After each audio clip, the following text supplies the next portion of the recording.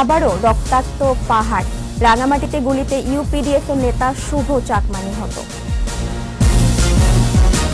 অসহায় মানুষের চিকিৎসা সহায়তায় চট্টগ্রাম পুলিশের একদল সদস্য দিচ্ছেন বেতনের একাংশ।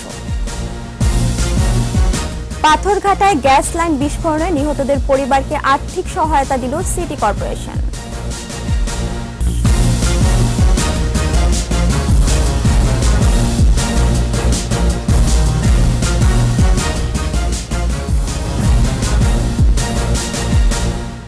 শুনছিলেন সোশ্যাল ইসলামী ব্যাংক লিমিটেড সংবাদ শিরোনাম। আমন্ত্রণ জানাচ্ছি একুশের চট্টগ্রাম সংবাদে। আপনাদের সাথে আছি মহিমা পলি। দর্শক, একুশে টেলিভিশনের সংবাদ একই সাথে সরাসরি দেখতে পাবেন। আমাদের Facebook page W dot Facebook dot com slash Ekushey twenty four অনলাইনে রাঙামাটির ননিয়ারচরের সাবেক্ষং এলাকার দুর্বৃত্তদের গুলিতে আঞ্চলিক রাজনৈতিক দল United Peoples Democratic Front UPDF এর নেতা শুভ চাকমা ওরফে গ্রিক নিহত হয়েছেন। ভোরে এ ঘটনা ঘটে। স্থানীয় সূত্র জানায়, চার নম্বর ওয়ার্ডের এগুচ্ছে ছড়ি এলাকায় ইউপিডিএফ এর জেলা ইউনিটের সহকারী পরিচালক শুভ চাকমা একটি বাড়িতে অবস্থান করছিলেন। এ সময় দুর্বৃত্তরা বাড়ি ঘেরাও করে ব্রাশ ফায়ার করে। এতে শুভ চাকমা গুলিবিদ্ধ হয়ে মারা যান। তবে কারা এ ঘটনা ঘটিয়েছে জানা যায়নি। ননিয়ারচর থানার ভারপ্রাপ্ত কর্মকর্তা কবির হোসেন ঘটনার সত্যতা স্বীকার করেছেন।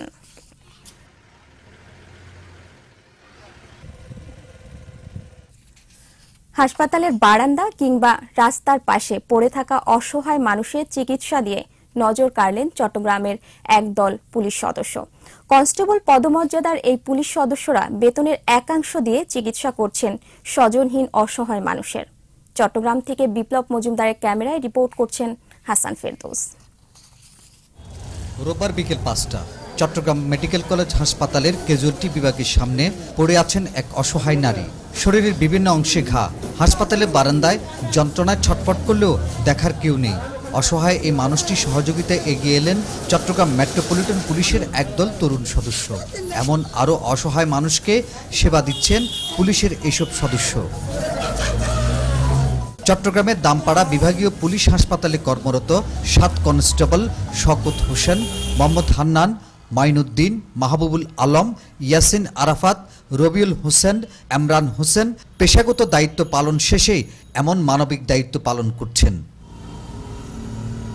পুলিশ সদস্যদের এই উদ্যোগকে স্বাগত জানিয়েছেন সাধারণ মানুষ।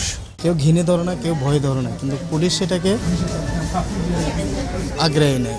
সহযোগিতা করতেছে মানে নিরপেক্ষ এটা কিন্তু ভালো কাজ করতেছে। অসহায় মানুষের সেবা দিতে পেরে গর্ববোধ করেন কনস্টেবল পদের এইসব পুলিশ সদস্যরা। চলে যায় পাঁচ দিয়ে হেঁটে। এগুলো কেউ ইয়ে করে করে না যে একটু গিয়ে দেখি একটু খাবার দেই। কোনো মানুষ যেন মৌলিক অধিকার থেকে যেন বঞ্চিত বাদ না যায়। পরিচয় গোপন রেখে দু হাজার দশ সাল থেকে মানুষের সেবায় জড়িয়ে পড়ার কথা জানান এই পুলিশ সদস্যরা। বাংলাদেশ পুলিশের স্লোগান হচ্ছে সেবাই পুলিশের ধর্ম। সেই মহা- মহান পুলিশের সেই মহান ব্রত নিয়ে চেষ্টা করব তাদেরকে, তাদের জীবনটা রক্ষা করার জন্য। নয় বছরে চট্টগ্রামে অন্তত চল্লিশ জন অসহায় রোগীকে সেবা দিয়েছেন পুলিশের এই টিম। এর মধ্যেই বিশ জনের অস্ত্রোপচার হয়েছে। ঘটনা জানার পর চট্টগ্রামের পুলিশ কমিশনার মানবিক সেবার জন্য পৃথক ইউনিট গঠন করেছেন। হাসান ফিরদোস, একুশে টেলিভিশন, চট্টগ্রাম। পাথরঘাটায় গ্যাস লাইন বিস্ফোরণে নিহতদের পরিবারকে আর্থিক সহায়তা দিয়েছে চট্টগ্রাম সিটি কর্পোরেশন।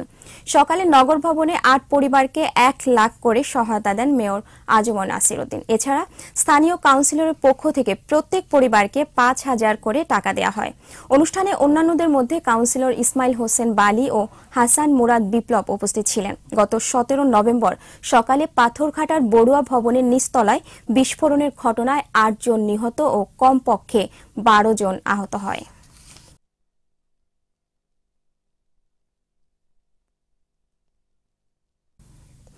খাগড়াছড়ি সদর উপজেলা প্রশাসনের উদ্যোগে হত দরিদ্রদের মাঝে কম্বল বিতরণ করা হয়েছে।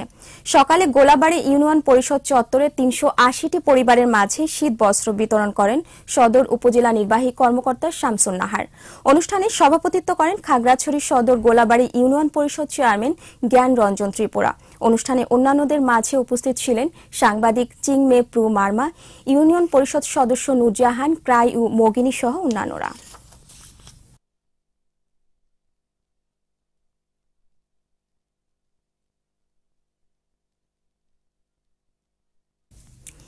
ত্রিশ লাখ শহীদদের আত্মত্যাগ আর দুই লাখ মা বোনের সম্ভ্রমের বিনিময়ে অর্জিত হয়েছে স্বাধীনতা।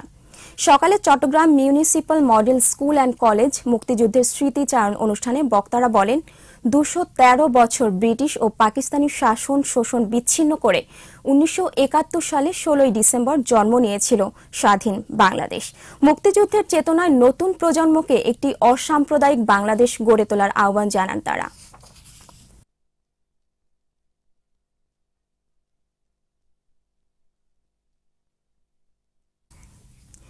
যুবলীগের প্রতিষ্ঠাতা চেয়ারম্যান শেখ ফজলুল হক মনির একাশিতম জন্মদিন উপলক্ষে বান্দরবানে দোয়া, মাহফিল ও আলোচনা সভা হয়েছে। সভায় সভাপতিত্ব করেন গাউসিয়া কমিটি বান্দরবান জেলা শাখার সভাপতি মোহাম্মদ হোসেন প্রধান অতিথি ছিলেন পৌর মেয়র মোহাম্মদ ইসলাম বেবি। বিশেষ আলোচক ছিলেন মুক্তিযোদ্ধা এম এ হাকিম চৌধুরী সহ স্থানীয়রা। শেখ ফজলুল হক মনির জীবন নিয়ে বিভিন্ন স্মৃতিচারণ করেন অতিথিরা এবং শেষে তার রুহের মাগফিরাত কামনা ও দেশ ও জাতির কল্যাণ ও দোয়া করা হয়।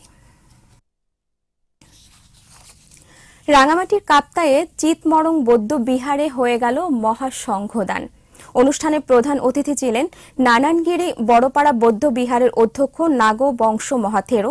অনুষ্ঠানে ধর্ম দেশনা দেন চিতমরং বৌদ্ধ বিহারের অধ্যক্ষ পামক্ষা মহাথেরো, ভাগ্য মহাথেরো, ওয়াইনাই মহাথেরো।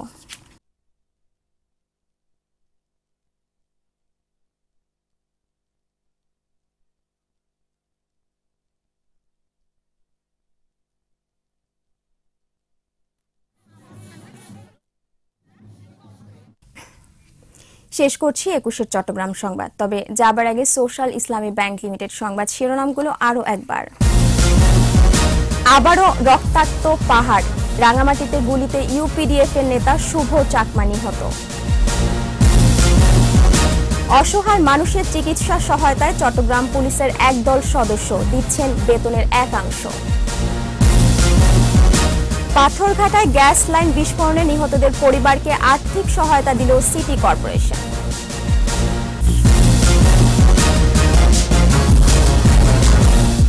সর্বশেষ খবর জানতে ডায়াল করুন টু জিরো টু ওয়ান নম্বরে আর ভিজিট করুন একুশে ড্যাশ টিভি ডট কম এই ওয়েবসাইটে।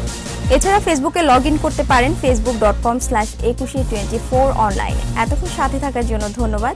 পরের সংবাদ সন্ধ্যা সাতটায়। দেখার আমন্ত্রণ রইল। একুশের সাথেই থাকুন।